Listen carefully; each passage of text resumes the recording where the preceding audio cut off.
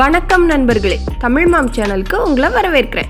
நம்ம இன்னைக்கு பார்க்க போகிற ரெசிபி பேபி ஃபுட்டான சத்து மாவு கூழ். இது பண்ணுறதுக்கு பச்சரிசி கம்பு கம்பம்புல்லுன்னு சொல்லுவோம்ல அது அப்புறமா ராகி கேழ்வரகு அதுக்கப்புறமா சம்பா கோதுமை. சம்பா கோதுமை கிடைக்கலன்னா நீங்கள் நார்மல் கோதுமை கூட எடுத்துக்கோங்க. இது எல்லாமே சம அளவு எடுத்து வச்சுக்கோங்க. எல்லாமே ஒரு கிலோ எடுத்தீங்க அப்படின்னா ஒரு ஐம்பது கிராம் அளவுக்கு பாதாம் எடுத்துக்கோங்க. சரியாக இருக்கும். இப்போ இதெல்லாம் தனித்தனியாக வறுக்கணுங்க. ஃபஸ்ட்டு ஸ்டவ் ஆன் பண்ணி ஒரு கடாய் வச்சுருங்க. கடாய் நல்லா சூடாகட்டும். கடாய் சூடான பிறகு நீங்கள் மிதமான தீயில வச்சுக்கிட்டு வறுக்க ஆரம்பிங்க. முதல்ல நான் கம்பு சேர்த்துருக்கேன். கம்பு வறுபடும் போது நல்ல ஒரு வாசனை வரும். அதிலே கண்டுபிடிச்சிக்கலாம். லைட்டாக அங்கங்கே குட்டி குட்டியாக அதோ தெரியுதுல இந்த மாதிரி வெடிக்க ஆரம்பிக்கும். அப்போ நம்ம வறுபட்டுடுச்சு அப்படிங்கிறது கணக்குங்க. இது இந்த மாதிரி வெடிக்க ஆரம்பித்த உடனே மாற்றிடுங்க ரொம்ப வெடிக்க விடாதீங்க. தீஞ்சிற போது. ஸோ லைட்டாக வெடிக்க ஆரம்பித்த உடனேயே இதில் போட்டு வச்சுருங்க. ஆறட்டு ஒரு பிளேட்டில் மாற்றி இதே மாதிரி தான் ராகியும் வறுக்கணும். ராகி கவனமாக இருங்க. ஏன்னா அது ஏற்கனவே ப்ரௌன் கலரில் இருக்குது நம்மளால் தீரது கண்டுபிடிக்க முடியாது. ஸோ இந்த மாதிரி ஒரு ரெண்டு முறை கலந்துட்டு இது ரொம்ப குட்டி குட்டியாக இருக்கிறதுனால ஒன்று போல் வறுபடுறதுக்காக இப்படி பாத்திரத்தையே எடுத்து ஒரு முறை குலுக்கி விட்டுருங்க. அப்போனா அடிபாகம் மேலே வந்து ஒன்று போல் வறுபடும். ஸோ கலந்து குலுக்கி விட்டு வறுத்துக்கோங்க. இதோ வெடிக்க ஆரம்பிக்குது இல்லையா அது வெடிக்க ஆரம்பித்த உடனேயே இதை ஒரு பிளேட்டுக்கு மாற்றி ஆற விட்டுணும் இல்லைன்னா தீஞ்சு போயிடும். கவனமாக வறுத்துக்கோங்க. இப்போ இதே போல் சம்பா கோதுமையும் வறுத்துக்கிடலாம். அதுக்கும் அதே ப்ரொசீஜர் தாங்க. நல்லா கலந்துட்டு அடிபாகம் மேலே வர்ற மாதிரி ஒரு முறை குலுக்கி விட்டுட்டு வறுத்து எடுத்துக்கோங்க. அங்கங்கே ஒவ்வொன்று துள்ளி துள்ளி வெடிக்க ஆரம்பிக்கும். இதோ தெரியுது இல்லைங்க? அங்கங்கே வெடிக்குது இல்லையா? இது மாதிரி தெரிஞ்ச உடனே இதையும் நீங்கள் ஒரு பிளேட்டில் கொட்டி ஆற வச்சிடலாம் இப்போ நம்ம லாஸ்ட்டாக பச்சரிசியும் வறுத்து எடுத்துக்கிடுவோம். பச்சரிசி வந்து ஏற்கனவே நம்மளுக்கு நல்ல வெள்ளை கலரில் தான் இருக்கும்.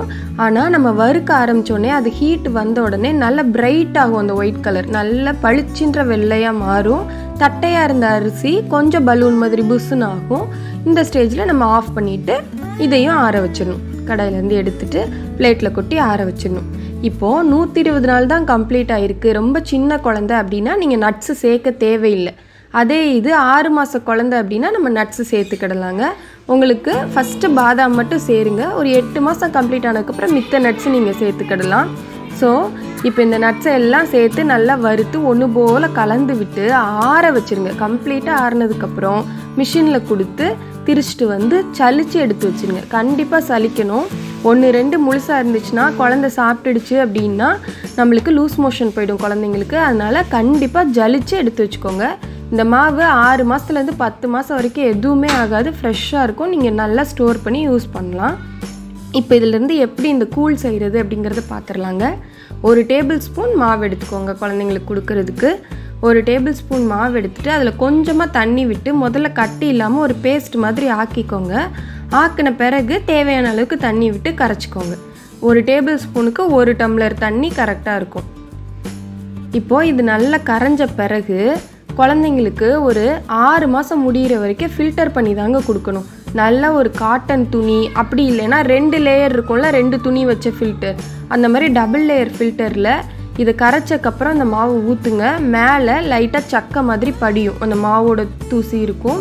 அது தேவையில்லை. இது எடுத்துடலாம். ஏழு மாதம் முடிஞ்சதுக்கப்புறம் எட்டாவது மாதம் நீங்கள் கொடுக்குறீங்கன்னா இந்த ஃபில்ட்ரேஷன் ப்ராசஸ் தேவையில்லை. அப்படியே தண்ணியில் கரைச்சி க கிண்டி கொடுத்துடலாம். இப்போது ஸ்டவ் ஆன் பண்ணிவிட்டு நம்ம இந்த பாத்திரத்தை வச்சுருவோம். பாத்திரம் வச்சதுலேருந்து நீங்கள் கிண் கலந்து விட்டுக்கிட்டே தாங்க இருக்கணும். கண்டினியூஸாக கிண்டணும். இல்லைன்னா அடியில் மாவு தங்கிரும். ஒரு மாதிரி கட்டியாக ஒரு பொறுக்கு மாதிரி படந்துரும் அது சரி வராது. கொதி லைட்டாக வந்த உடனே சிம்மில் வச்சு நாலுலேருந்து அஞ்சு நிமிஷம் கலந்து விட்டுக்கிட்டே இருக்கணுங்க. கூழ் காய்ச்சறதுனால கலந்து விட்டுக்கிட்டே இருக்கணும்.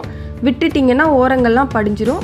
அடியிலையோ இந்த சைடுலேயோ ஒரு வேளை பொறுக்காயிடுச்சுன்னா அதை எதையும் கலந்து விட்டுறாதீங்க. நடுவில் மட்டும் ஜென்டிலாக கலக்கிக்கிட்டே இருங்க. ஒரு நாலுலேருந்து அஞ்சு நிமிஷம் ஆறுனதுக்கப்புறம் ஃபேனு கீழே வச்சு நீங்கள் இனிப்புக்கு என்ன சேர்ப்பீங்களோ நான் இன்றைக்கி கருப்பட்டியை தண்ணியில் கரைச்சி சேர்த்துருக்கேங்க. பனை வெல்லம் நாட்டு சர்க்கரை வெள்ளை சர்க்கரை இல்லைனா உப்பு எது வேணுமோ அதை நீங்கள் சேர்த்து ஆறுற வரைக்கும் கலந்து விட்டுக்கிட்டே இருங்க. ஓரங்களை கலக்காதீங்க. நடுவில் மட்டும் ஜென்ட்டில் கலந்து விட்டுக்கிட்டே இருங்க. இல்லைன்னா ஆடை படந்துடும் குழந்தைங்களால முழுங்க முடியாது. இப்போ நல்லா ஆறிடுச்சு. இதை ஒரு பவுலில் மாற்றி நம்ம குழந்தைங்களுக்கு கொடுக்கலாம். நீங்களும் இந்த ஃபுட்டை உங்கள் வீட்டில் ட்ரை பண்ணி பார்த்துட்டு எப்படி இருந்துச்சுன்னு உங்களோட ஃபீட்பேக்கை கமெண்ட் பாக்ஸில் சொல்லுங்கள் இந்த வீடியோ உங்களுக்கு பிடிச்சிருந்துச்சுன்னா like share and subscribe to Tamil mom thank you